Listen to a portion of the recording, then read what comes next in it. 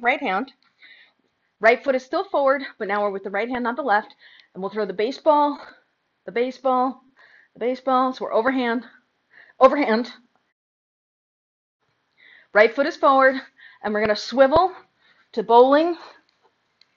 Go small, stall forward, stall backward, go big, and swivel back to overhand. And go small, and stall back, stall front. Second set, go big, and swivel to, to the bowling. Go small, stall front, stall back, go big. Then we're going to swivel back to the baseball,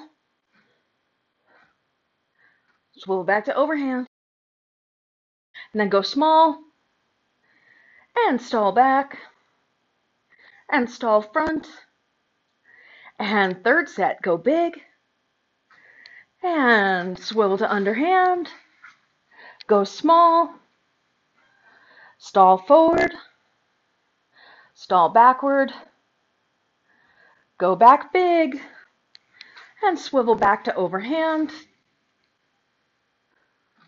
and go small, and stall back, stall front, and last set, go big, and swivel, come into underhand, go small, stall front, stall back, go big, swivel back to overhand,